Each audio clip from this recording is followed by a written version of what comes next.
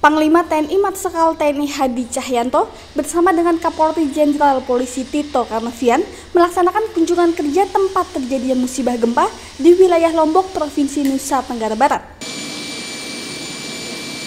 Kedatangan Panglima TNI dan Kapolri kali ini dalam rangka meninjau lokasi dan korban gempa bumi. Panglima TNI dan Kapolri yang hadir dengan menggunakan pesawat Boeing 737 VIP milik TNI Angkatan Udara yang bertolak dari Lanut Halim Perdana Kusuma Jakarta Timur tiba di Bandara Internasional Lombok.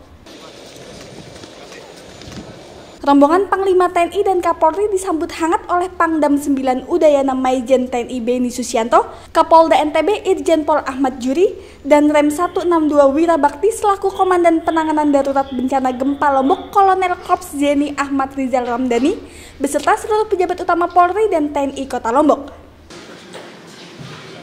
Panglima TNI dan Kapolri, keduanya akan dijadwalkan untuk menerima paparan tentang semua operasi yang telah dilakukan untuk menangani dampak gempa di Lombok yang disampaikan oleh Dan Satgas Penanggulangan Gempa Kolonel Ahmad Rizal Ramdhani. Panglima TNI dan Kapolri keduanya akan dijadwalkan untuk menerima paparan tentang semua operasi yang telah dilakukan untuk menangani dampak gempa di Lombok yang disampaikan oleh Dan Satgas Penanggulangan Gempa Kolonel Kops Zeni Ahmad Rizal Ramdhani. Selain menerima paparan, Kapolri di depan para awak media juga menyampaikan penjelasan mengenai kunjungannya tersebut bersama dengan Panglima TNI. Langkah-langkah yang dilakukan oleh Satgas ini cukup sistematis. Sistematis, punya data-data yang sudah cukup detail, sudah banyak sekali dikerjakan, namun ada beberapa yang memang harus dikerjakan lagi ditambah kebutuhan-kebutuhan. Karena memang dalam suatu insiden seperti peristiwa gempa ini ini kan terjadinya bukan sekali. Terjadinya setelah itu ada susunan lagi.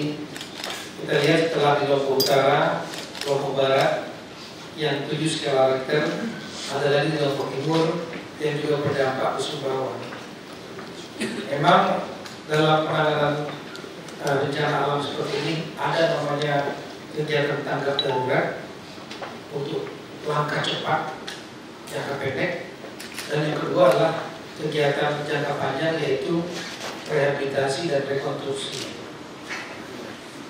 Namun begitu ada kejadian di Lombok Timur otomatis dilaksanakan lagi tanggap darurat di sana dan setelah itu sambil rekonstruksi dan rehabilitasi.